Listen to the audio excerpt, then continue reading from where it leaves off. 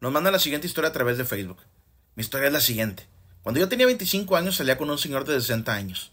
Él era muy generoso conmigo y siempre me consentía y me daba dinero, como un sugar daddy, pero era mi novio. Duramos tres años y lo dejé porque él aún era muy conservador y chocábamos en cuanto a opiniones. Hace 11 meses me lo encontré. Yo ya tengo 34 años. Le platiqué que yo tenía guardias en un hospital por la noche. Me pidió mi número y le dije que casi siempre yo contestaba más en la noche, después de la una, y que si gustaba, me marcara.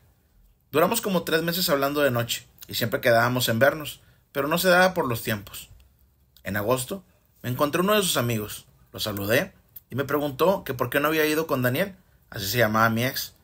Le dije que por qué, y me dijo que tenía tres meses que había fallecido.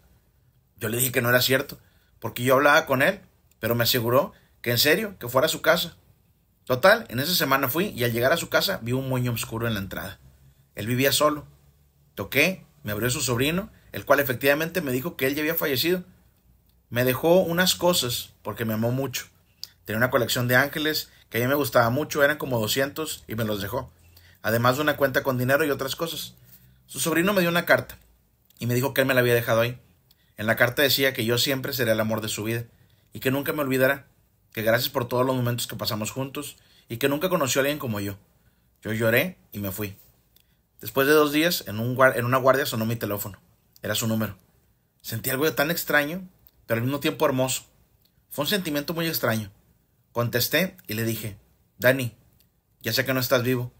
Te quiero decir que tú también fuiste muy importante para mí. Te agradezco por cruzarte en mi camino y le pido a Dios que te tenga siempre con él. Entonces colgó y nunca más me volvió a abarcar.